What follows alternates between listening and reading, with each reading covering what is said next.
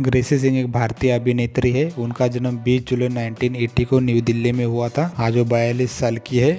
दोस्तों, इसी वीडियो के लिए चैनल को सब्सक्राइब करें। ये वीडियो आपको पसंद तो लाइक, शेयर, कमेंट ज़रूर करें। मिलता है अगले वीडियो में। धन्यवाद।